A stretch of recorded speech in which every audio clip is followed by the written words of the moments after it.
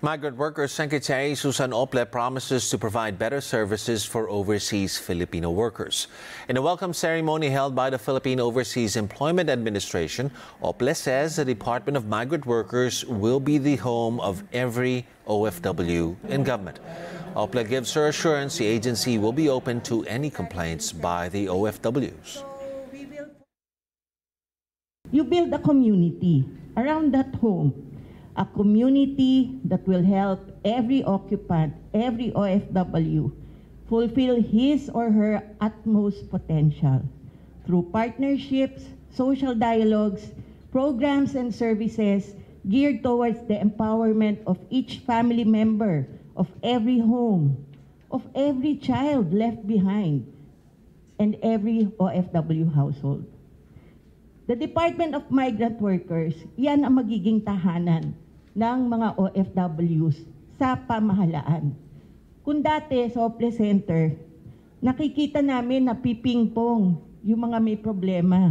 Hindi alam saan pupunta. Ngayon, alam na nila. At kung hindi sila maasikaso, kami ang unang aalamin namin kung bakit nagkakaganon. The Labor Department also holds a turnover ceremony as the new administration takes over. Former Labor Chief Silvestre Bello III was present during the event to welcome his successor, Bienvenido Laguesma. Bello handed the Dole flag and the labor and employment plan to Laguesma to symbolize the turnover of power. In a speech, the new Dole secretary shares his goals for the agency.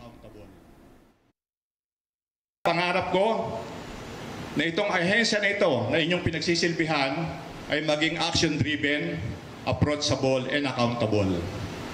At nais ko rin pong maging uh, makita aking pangarap na siya ay maging responsable at responsive at reaching out to its constituency, more particularly yung pong ating mga manggagawa sa kanayunan at dun sa malayo sa urban centers.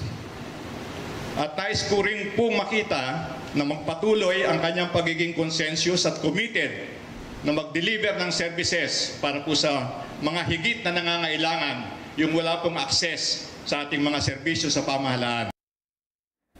The Philippines' new trade chief outlines his plans for the agency. Secretary Alfredo Pascual says he will prioritize small businesses, expand exports, and attract more investments, among others. He presented these during the turnover ceremony at the Trade Department's head office in Makati. Pascual's predecessor, Ramon Lopez, calls him the better man for the job.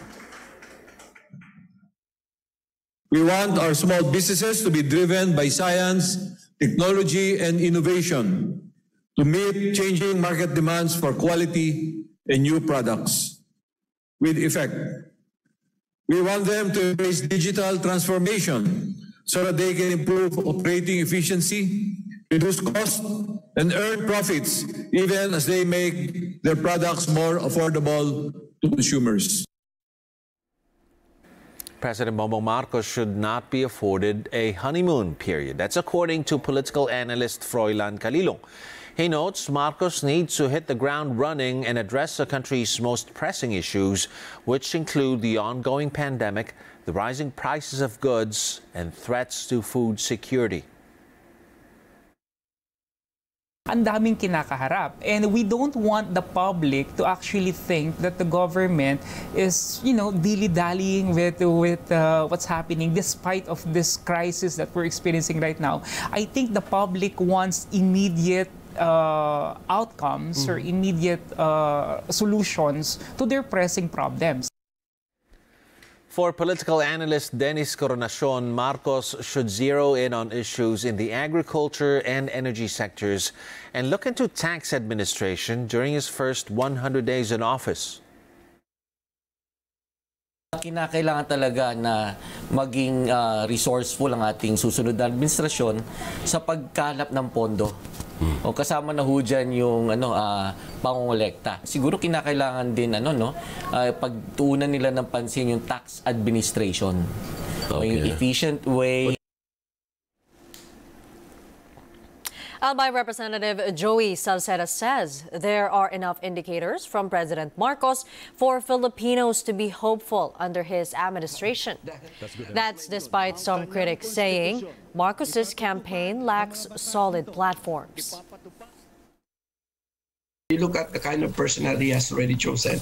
And alin ba yung mga wala pa?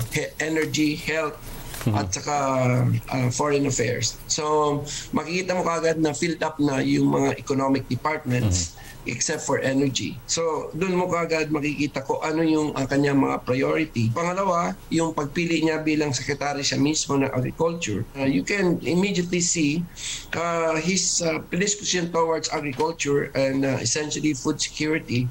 I think uh, on the whole, there is enough already guidelines or guidance for Filipinos to be more hopeful under the uh, BBM administration. Now that another Marcos is in power, a former official of the Presidential Commission on Good Government doubts the PCGG would make further headway in going after the ill-gotten wealth of the family.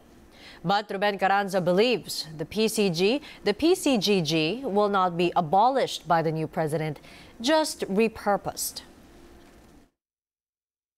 There's another reason why the Marcoses might not, in fact, abolish the commission. They want to use it to go after their own cronies to get what they claim is 60% of what these cronies control in businesses and have them returned not to the Filipino people. Mm-hmm. This is not about recovering ill-gotten wealth, but recovering money stolen by the Marcoses, held by Marcos cronies, and now the Marcoses want that money in their pockets.